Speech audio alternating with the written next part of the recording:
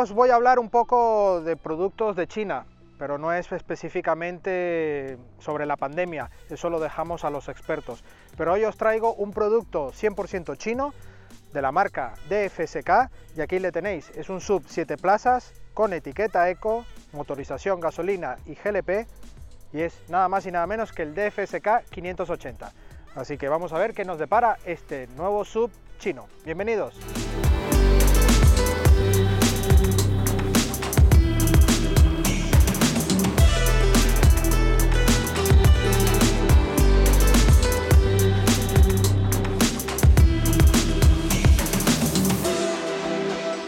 Iniciamos nuestro análisis exterior. Aquí el coche, bueno, tiene un diseño bastante bonito, muy acertado, pero a simple vista lo que a la mayoría de las personas nos puede hacer muy extraño es el logotipo. El logotipo de FSK son dos golondrinas, hay una historia bastante importante sobre eso, pero ya os dejo a vosotros o consultar aquí debajo en la prueba escrita donde hablaré un poco más extendido sobre esto. Aquí en el vídeo no os voy a dar la lata para hablar de la historia de la marca, simplemente comentarles este tipo de detalles.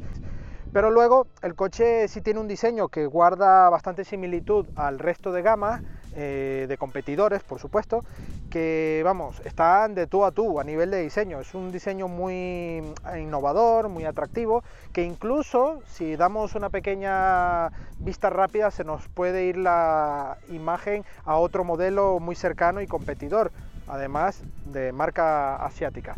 Pero en este caso, bueno, vamos a comentar, aquí el capó lleva un nervio algo más bajo en esta zona, en los laterales, pero aquí gana musculatura en la parte central y es totalmente plano. Justo en el capó llevamos esta pequeña eh, inserción para abrazar al logo de, la marca, marca y unas ópticas en horizontal muy bonitas con lupa, la luz diurna en esta zona y eh, tecnología LED. En este caso el paragolpes va con un formato mm, algo más deportivo, con estas inserciones en negro mate y este también símil plata en la inserción central. la matrícula en la parte central y llevamos en esta zona debajo del logo la cámara frontal porque en esta unidad que es la Intelligent llevamos la cámara 360 eh, para tener visualización eh, alrededor de todo el coche. Bueno, repasamos el lateral. Aquí tenéis las medidas de este DFSK 580. Las aristas que os he comentado en la parte frontal caen justo aquí en el lateral para comenzar con este nervio superior y va por todo lo alto del coche. Justamente en la puerta delantera vemos aquí una pequeña desviación de nervios que le dan este juego de, dinamismo al lateral y justo en esta zona tenemos otra eh, inserción de ambos nervios. En esta zona una parte un poco más eh, hueca, hundida y otra nervio más en la parte inferior con este faldón en negro mate para dar todo este aspecto un tanto crossover, todo camino de este sub. Pasos de rueda también en negro mate y unas llantas en acabado bitono, pulidas, en tamaño 17 pulgadas. En este caso llevamos unas gomas 225-60 de Pirelli, ¿vale?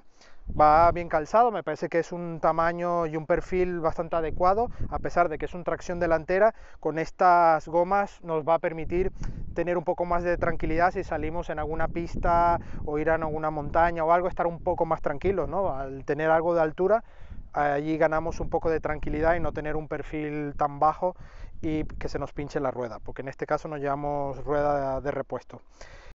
Manetas en cromo, con un diseño muy atractivo, igual aquí todo alrededor de las ventanillas también en cromo y un pulsador, manos libres, tenemos el mando en el, en el bolsillo y podemos pulsar para abrir y cerrar el coche. Intermitentes integrados en las carcasas de los retrovisores y las acostumbradas barras en el techo que aquí no podrían faltar. Una saga bastante voluminosa, aquí gana algo de empaque, justo en esta subida de la luneta trasera del maletero ganamos aquí un pilar C muy, muy grande, muy atractivo y ya dicho esto, vamos a ver la saga. Aquí pudiésemos jugar un poco a identificar y buscar un parecido a algún modelo sub En este caso os dejo a vosotros aquí escribir si os parece o os recuerda algún modelo en particular. Pero aquí vamos a hablar del modelo. Tenemos un alerón que justo va sobresaliendo un poco más de la luneta, una luneta con buena dimensión, tenemos aquí el limpia luneta, la tercera luz de freno y la aleta tipo tiburón que va allí en el techo. Unas ópticas en formato horizontal, también con tecnología LED e incluso tenemos intermitentes dinámicos, que eso, vamos, es un buen guiño en cuanto a, a tecnología. Un portón con gran altura, esta inserción en cromo en la parte central, el logo de DFSK y el emblema de 580 de este modelo. Un paragolpes, mm, vamos, con cierta sencillez, pero está dominado por esta protección en negro mate que le da un aspecto robusto a toda esta saga. Dos salidas eh, falsas de escape, como estamos acostumbrados, que llevan cromo, lleva allí una pequeña simulación de escape, pero no tiene nada que ver. El escape real está justo debajo, en esta zona. Y esta pequeña mm, difusor unas pequeñas líneas para también dar ese aspecto un poco más dinámico ¿no? a esta saga. No llevamos cristales oscurecidos, así que nada, con todo esto vamos a ver el interior.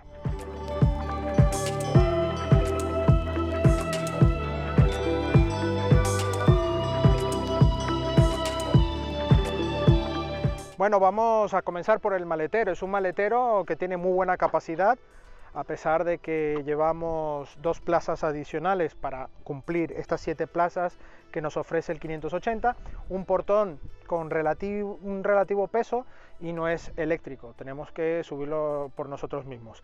Aquí hay también una cierta similitud a modelos de la gama del segmento sub, así que bueno, si a alguno se le hace familiar, comentarlo aquí.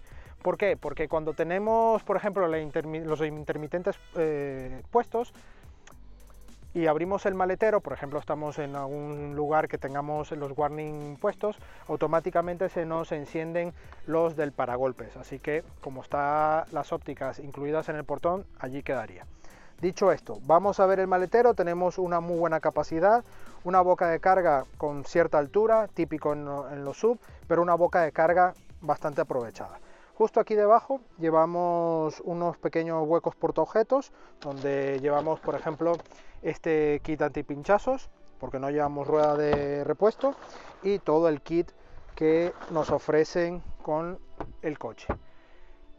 Como veis, buena capacidad, pero lo más interesante de este coche es lo que vamos a ver ahora. Tenemos dos plazas adicionales que tirando de esta cremallera ya tendríamos las siete plazas configuradas. En este caso nos deja un maletero con una capacidad mínima, pero que mm, dos bolsos de buena dimensión podrán ir sin ningún problema. Así que no es de los peores maleteros en configuración siete plazas. Pero dicho esto, es bueno ver cómo van las plazas traseras, estas dos plazas. Acompáñame. Pues bueno, aquí podemos ver que la apertura de la puerta es bastante buena, tiene un ángulo bueno para entrar y salir, además el hueco es generoso y aquí tenemos la banqueta. La banqueta trasera se puede desplazar horizontalmente, con lo cual ganamos espacio para estas plazas traseras. Además tenemos este pequeño para reclinar el asiento, así que son muy confortables. Ahora hablaremos de eso dentro de la plaza trasera. Para entrar a las plazas traseras desplazamos justo con esta maneta y tenemos esta apertura. No es de lo más cómodo, pero los hay peores. Bueno, ya aquí en este asiento trasero voy con buena, buen espacio general. Si la banqueta la desplazamos, prácticamente en este momento tengo un dedo de separación, podríamos ganar incluso dos dedos de separación y esto para este tipo de, sillas es bastante bueno. El techo llevo dos dedos de separación, lo único que pongo algo de pega es que la visibilidad hacia el exterior es muy pequeña, estas lunetas que llevamos en los laterales y te puedes sentir un poco encerrado en esta zona. Pero bueno, como son para uso ocasional, yo creo que está más que servido. Llevamos dos portabebidas en los laterales y una pequeña bandeja también para colocar algún objeto. No llevamos ningún tipo de aireador, salidas de aire del clima, ni nada que nos pueda servir para tener mayor comodidad. ¿no? Incluso puertos USB no tenemos, pero bueno, es para uso ocasional y yo creo que está muy, pero muy bien. Bueno, vamos a mirar qué tal son las plazas traseras, que estas plazas sí son, vamos, de un uso ya cotidiano. La puerta, como os he dicho anteriormente, tiene una muy buena apertura, una buena entrada, también es muy grande y esto para personas, tanto adultos como niños, me parece que está idóneo. Es muy cómodo y ya dentro vamos a cerrar la puerta. Os comento un poco los materiales, ¿vale? Aquí mullido, plástico duro, plástico duro. Aquí simil piel, simil piel con vespuntes en blanco y todo plásticos duros. Si es verdad que hay una mezcla de materiales un tanto extrañas porque ves que tiene plástico incluso a la vista un tanto de baja calidad y con remates un tanto extraños, ¿no? Pero luego los otros plásticos y el simil piel da una terminación mucho mejor y bueno, está ese amor-odio cuando ves este tipo de acabados que te, tienes que acostumbrar, pero vamos, yo creo que por el precio, relación calidad, está bastante bien. Lo único, este, esta madera que ahora la vamos a ver delante, a mí particularmente no me gusta demasiado, aunque sinceramente casi que lo prefiero antes que el negro brillo. Así que bueno, a nivel general, como os he dicho, la banqueta se desplazan horizontalmente aquí va en esta posición que es lo más atrás posible y aquí llevo, bueno, dos palmos de mano suficientes, así que incluso puedo cruzar las piernas. Así que vamos, es súper cómodo. Espacio para debajo de los pies suficiente, porque incluso esto es para tapar un poco el asiento y no molesta para nada. Así que podremos estirar las piernas totalmente. Una banqueta con un buen revestimiento, no es incómodo, no lleva plástico duro para que nos golpee las rodillas y unos pequeños bolsillos en los respaldos. Si queremos ir un poco más cómodos en esta banqueta, simplemente reclinamos y podremos disfrutar de los viajes mucho más cómodos. Así que como veis tiene muy buena configuración y está muy bien. Si vamos para ganar toda la banqueta, esta sería la última posición que nos deja y llevamos prácticamente dos dedos de separación al, asiento. Ganamos más maletero o más espacio para las personas que vayan detrás. Así que por habitabilidad y comodidad está de 10. La plaza central, vamos a mirarla. Hay una buena noticia porque el túnel no impide para nada porque es prácticamente plano, así que podemos ir con las piernas aquí totalmente juntas y no molestar a las personas de, los que van de los laterales. Si es verdad que en anchura, mm, yo que no soy especialmente pequeño, pues aquí dos personas adultas iríamos relativamente cómodos, pero es una plaza central muy aprovechada. Dos salidas de aire en la consola central, no hay ningún tipo de regulación de temperatura ni nada y un pequeño hueco para guardar alguna cosilla. No hay conectividad de USB ni otro tipo de mechero 12 voltios ni nada. Así que bueno, nos tendríamos que adaptar. El respaldo de la plaza central es algo dura porque como es de costumbre, llevamos este reposabrazos que hace que el mullido sea mucho más incómodo y algo más duro. Pero bueno, como digo, para muchos coches de, este segmento sobre todo, incluso pequeños, pues nos puede venir una plaza central mucho peor que estas. esta plaza, esta banqueta trasera la veo muy bien aprovechada y muy cómoda. Anclajes ISOFIX, por supuesto, pero las llevamos aquí justo en unos huecos que lleva el tapizado en cuero, bueno, en cuero símil piel, ¿vale? Y habría que tener cuidado para que no nos carguemos con los ganchos del ISOFIX el tapizado. Pero como os he dicho antes, está muy bien logrado. Llevamos cortinilla en este techo practicable, es totalmente eléctrico. El techo está en una proporción 60-40, esta parte practicable y esta parte fija. Y el techo, la cortinilla, como os he dicho, es eléctrica y de la misma tonalidad de este interior, porque tenemos color oscuro en la parte baja y color claro en la parte superior. Pero bueno, no le demos más vuelta y vamos a ver la parte delantera. Bueno, vamos a ver las plazas delanteras de este Dongfeng DFSK 580. El nombre de la marca prefiero dejarlo para otro momento, pero aquí os dejo, es DFSK 580. Parte delantera, aquí ya respiramos un poco más de sensación de calidad. No es que en la parte trasera no la tenga, la tiene, pero aquí ya hay algunas cosillas que nos dan un guiño a tecnología y a un poco más de mejor acabado, al menos en apariencia. Vamos a repasarlo brevemente. Tenemos un salpicadero con buen mullido, en este acabado así con efecto vespuntes, aquí también es mullido, aquí ya es plástico duro, plástico duro, duro, en esta zona también lleva simil piel y ya la parte baja también plástico duro. Si es verdad que aquí llevamos dos huecos útiles para incluso llevar el móvil o algún, algún boli, y eso, vamos, se aprovecha. En este acabado Intelligent es este tipo de consola y en el acabado que está antes de este, la consola es un poco diferente. En la zona de conducción llevamos este volante de tres radios con buen formato, con cuero, también con unas, unos acabados, mm, digamos, extraños, ¿no? A mí particularmente el acabado, la sensación que me da es un tanto extraña, pero están correctas.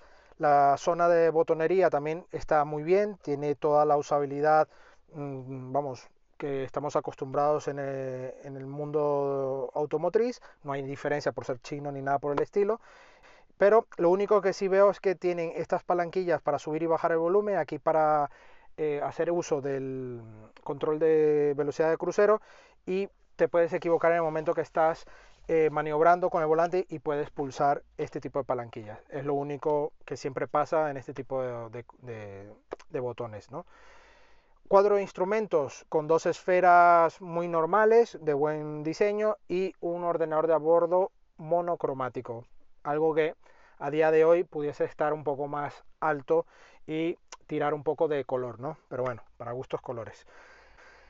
Eh, toda esta zona va acompañada de este efecto madera, que a mí particularmente, como ya os he dicho, me choca un poco, me hace que el coche sea un poco anticuado, pero casi que lo prefiero antes que esto que está aquí, que es el negro brillo. Un negro brillo que, como ya sabéis, para mantenerlo limpio y sin rayaduras es casi que misión imposible. Sin embargo, cuando está bien y está nuevo, se ve espectacular.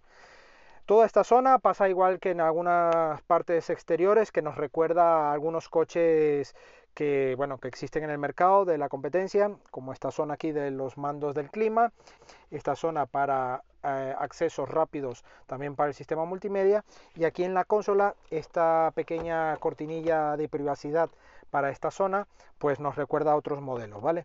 Aquí llevamos el conector 12 voltios, mechero, otro conector conector otro conector 12 voltios en este lado y justo aquí llevamos el indicador para el GLP. Como os he dicho, es un modelo GLP y aquí nos lleva el indicador y el pulsador para hacer el cambio si queremos.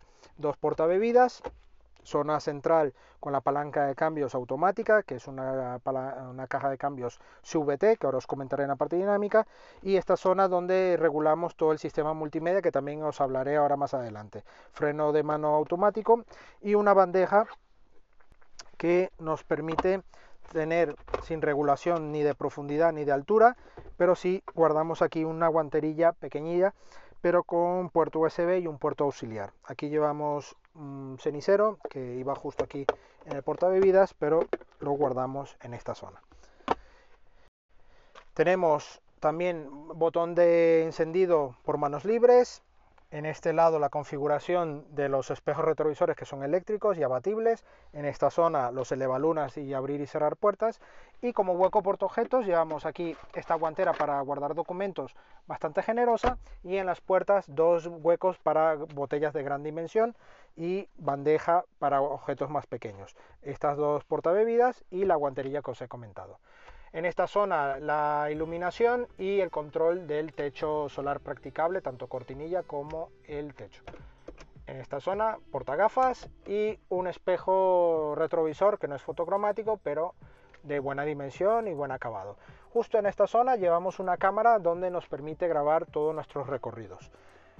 Y dicho esto, vamos a ello. Vamos a hacer un pequeño recorrido y os comento qué tal va este DFSK 580.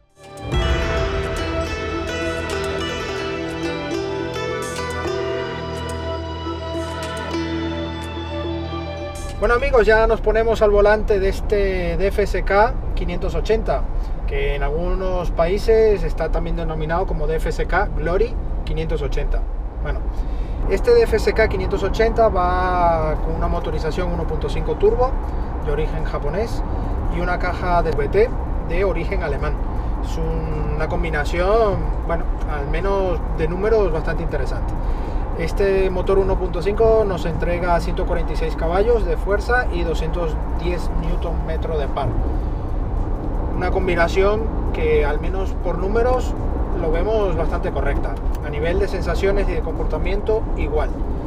Aquí el DFSK 580, si estás buscando un coche con un tarado deportivo, un comportamiento deportivo, sobre todo en curvas, trazados, no lo busques. Este coche no te va a ofrecer nada de eso. Es un coche que la suspensión recoge bien, está, digamos, al exceso de confortable y cuando vamos a esos excesos de confortables, pues tenemos excesos de balanceo, como es este el caso.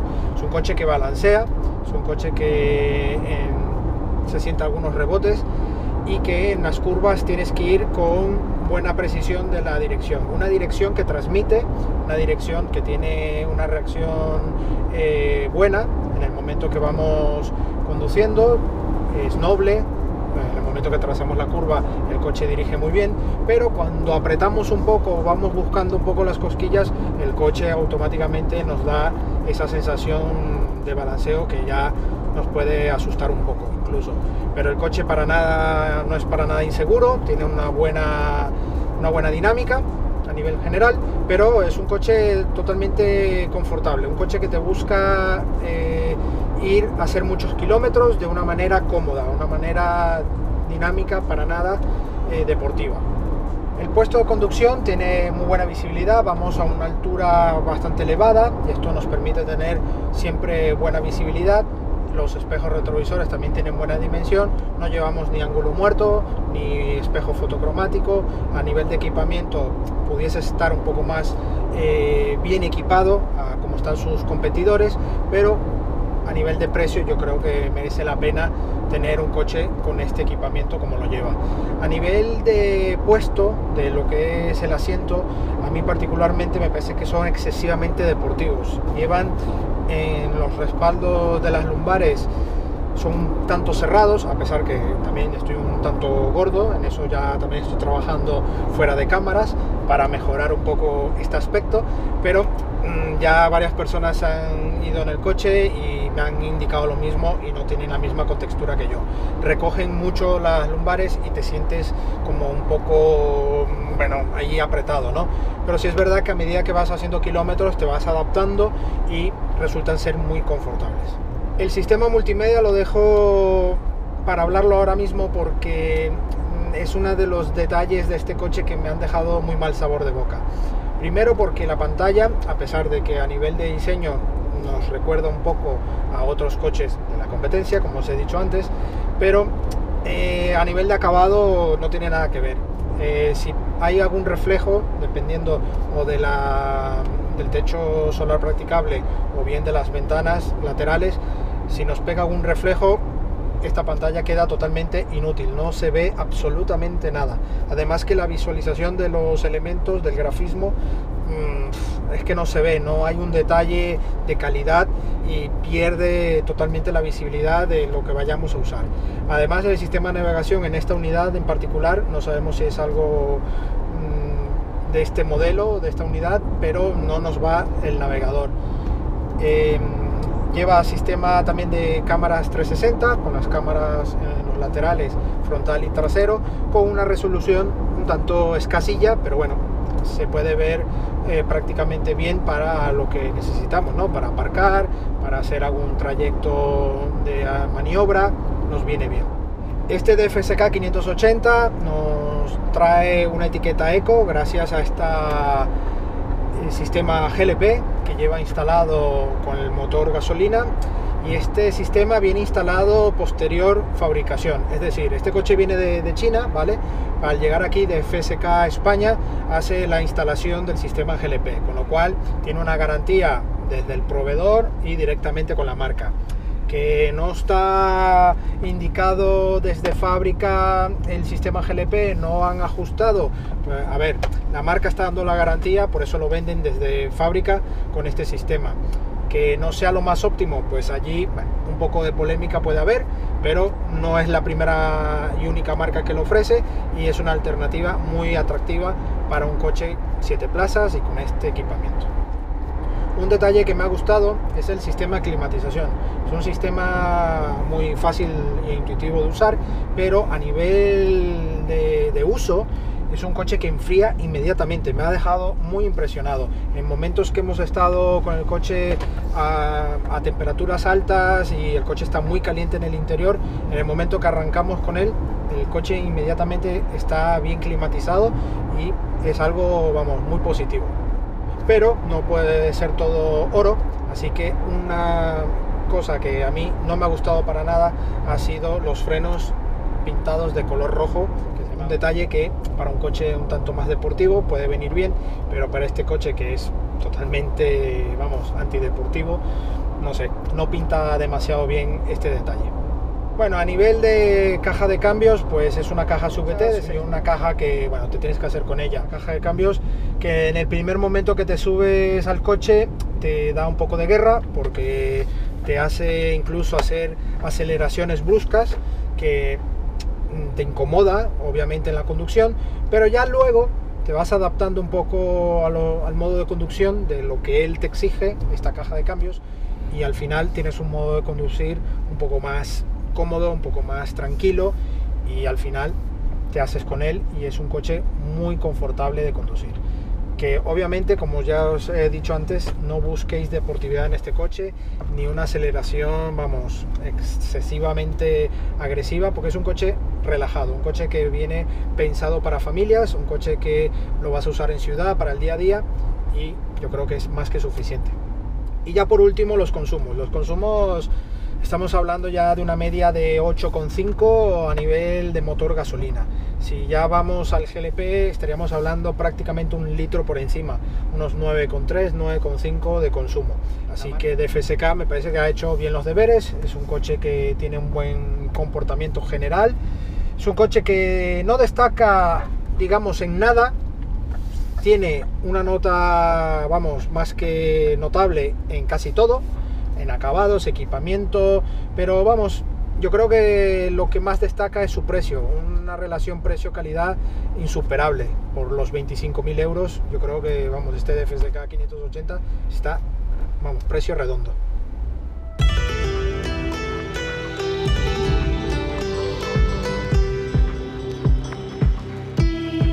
Bueno, como os dije al iniciar esta prueba, hoy vamos a hablar de un poco de China y de productos de China.